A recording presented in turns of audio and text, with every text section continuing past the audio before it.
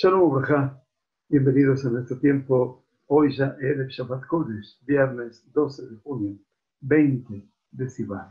Promedia el tiempo de Sivan y con él la Sagrada Torah nos hace transitar este Humash de Benidbar.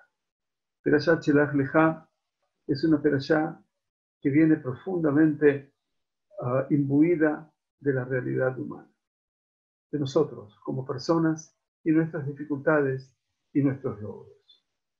La Sagrada Torah nos cuenta al comienzo de Perashat Shelach que cuando Moshe Rabbeinu designa a todos los emisarios, espías, exploradores que habrían de ir a la tierra de Canaán, entonces modifica el nombre de uno de ellos, llamado Oshea, que era el representante de Efraín, y le dijo que su nombre a partir de ahora sería Yehoshua.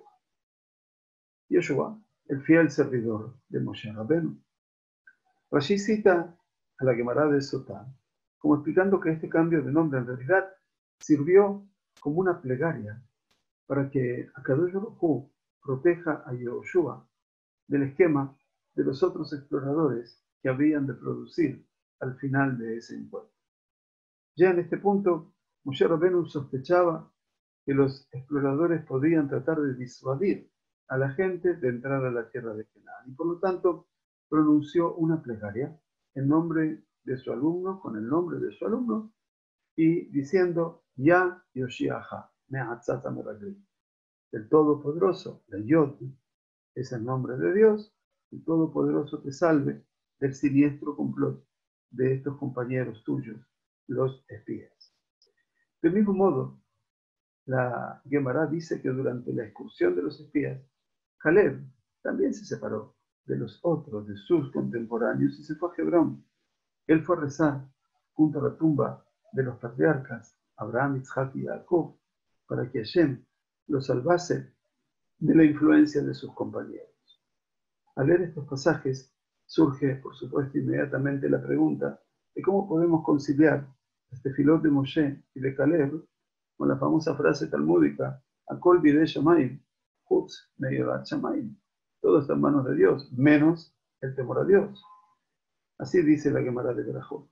Akadosh Baruj ejerce control sobre todo en el universo, con la excepción de lo que se llama el libre albedrío del ser humano. Solo el ser humano puede decidir si vivir una vida de virtud o de pecados, obedecer o desafiar la autoridad divina. ¿Qué propósito tiene entonces orar por la ayuda de Kadosh Baruj para vencer las influencias pecaminosas. Si Dios no ejerce control sobre el libre albedrío. El sabio, genial autor, Ben Shai, Yosef Haim de Bagdad, que vivió entre 1833 y 1909, de Tzadik Ibrahá, en su comentario de Ben Yehoyadá a la Gemara, la en este caso, responde distinguiendo entre dos manifestaciones del Yetzer de la inclinación negativa. En algunos casos, una persona se verá tentada a pecar debido a un impulso interno que amenaza con dominar su conciencia. El individuo, dice el Ben es plenamente consciente de la naturaleza pecaminosa del acto en cuestión y sin embargo se siente tentado. Pero la fragilidad espiritual también se manifiesta en la tendencia a confundir lo correcto con lo incorrecto y viceversa. La gente comúnmente transgrede no debido a un impulso o deseo abrumador, dice el Benishai, sino porque su claridad moral está oscurecida. Identifican erróneamente el pecado como virtud y la piedad como sentimiento. El pecado de los exploradores, afirma el Benishai, cae en la última categoría. Los exploradores vinieron y sintieron por una de una por una a una la variedad de posibles razones que estaba mal que Bené Israel se dirigiesen a la tierra, que tenían la responsabilidad de exponer la verdad, entre comillas, sobre Kenan y advertir a la gente.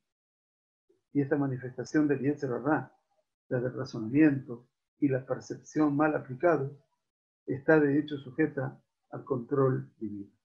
Una persona es capaz de controlar sus instintos y resistir sus impulsos pecaminosos de manera independiente, pero puede y debe rezar y pedir por la ayuda divina para lograr claridad de pensamiento y evitar una percepción errónea. Moshe no rezó para que Yoshua reuniera la fuerza interna para resistir la presión de los espías. Se esperaba que Yoshua hiciera esto solo.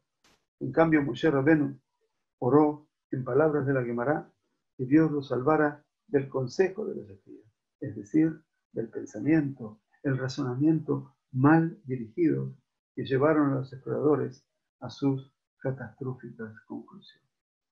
A veces, entender la palabra antes es la que nos permite a nosotros tener una percepción más clara y poder ver el cuadro con mayor justicia y con mayor claridad. Que tengamos un hermoso Shabbat en familia también. Esperemos pronto todos en comunidad. Shabbat Shalom, Umagorah.